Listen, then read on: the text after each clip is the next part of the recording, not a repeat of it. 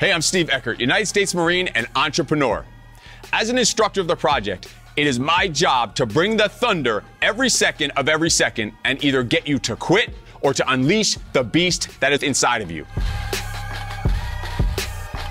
I accepted this job as a project instructor because I'm also a husband and a father, and I believe man's greatest work is to be a protector and a provider to his family, as well as a role model to his kids. Every decision you make and every action you take should be to be a man that your son wants to become and the type of man that your daughter one day wants to marry. I will make sure that you earn the title of modern day knight every second of your 75 hour experience.